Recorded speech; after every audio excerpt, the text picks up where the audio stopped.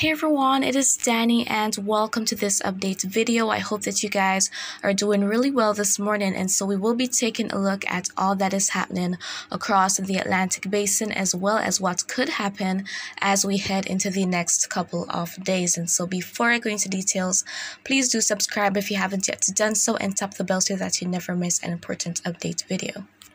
And so as we take a look at the latest from the National Hurricane Center, there's one disturbance which is highlighted, and that is Invest 96L, which has a 10% chance of developing. So it is unlikely to become anything out there. It should be off the map very soon.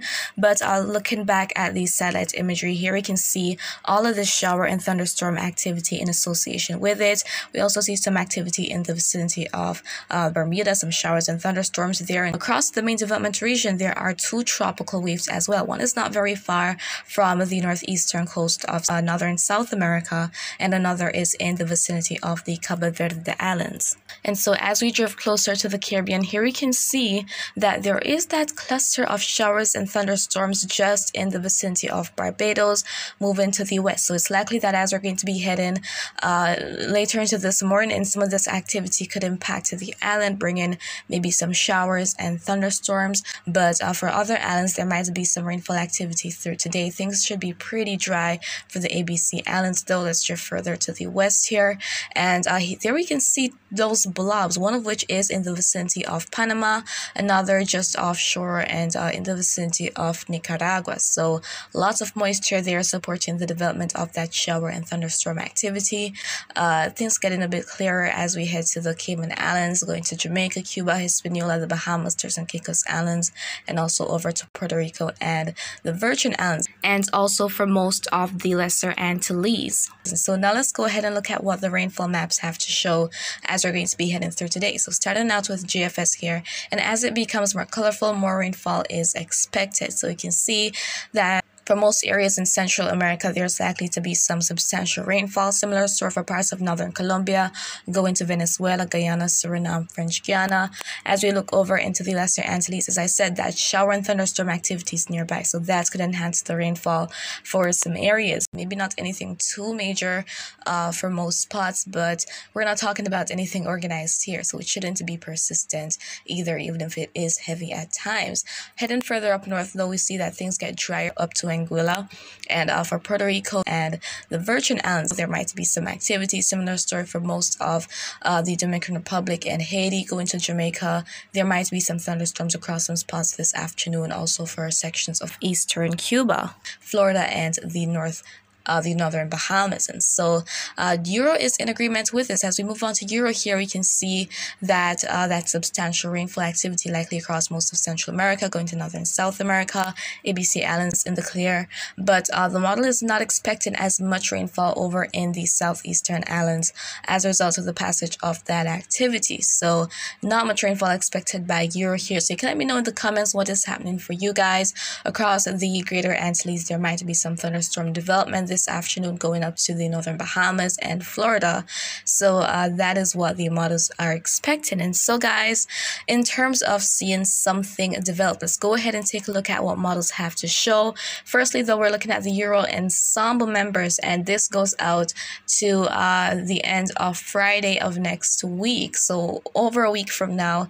And here we can see all these different tracks. Quite a bit of members expecting that we could see something coming from the uh, main development region, a tropical wave developing as it heads closer and closer to the Caribbean. And then uh, let's go ahead and look at what the model runs have to show. So we're going to be starting out with Euro. And so let's take a look at it. And the colors here, these greens, they represent the precipitation rate. And we're looking for those black squiggly lines being in a circular manner. And the closer we see them, the stronger the system is.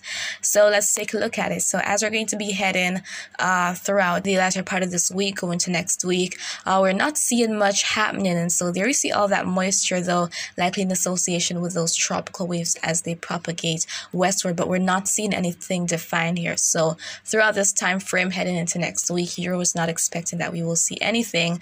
The icon model, on the other hand, this is uh, up to next Monday, the 7th of August, and here we can see that area of lots of moisture to the east of the Leeward Islands, and then uh, out there they're in the main development region, maybe around midway between the Windward Islands and the coast of Africa. Pretty interesting here.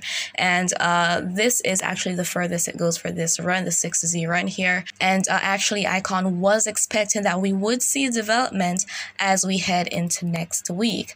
Let's go ahead and move on to the Canadian model now. Canadians still being bullish about this system, developing into a tropical storm and approach to the Caribbean, starting to make that west, uh, that northwestward track in the vicinity of the Leeward Islands. So uh, the Canadian model here is being persistent about this. But uh, actually, as for the GFS, now GFS is not showing much. So at first it was showing something crazy going over into the Gulf and intensifying.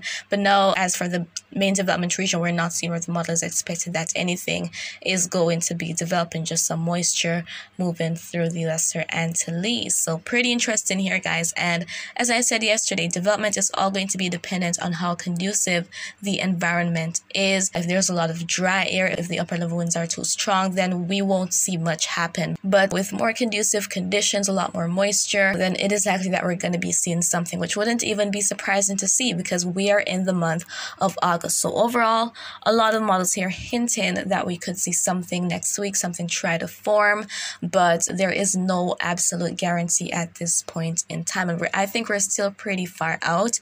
So let's wait and see what happens over the next couple of days. But of course, guys, I'm here to keep you posted on all that is happening so that you're never caught off guard. And so that is pretty much it for right now.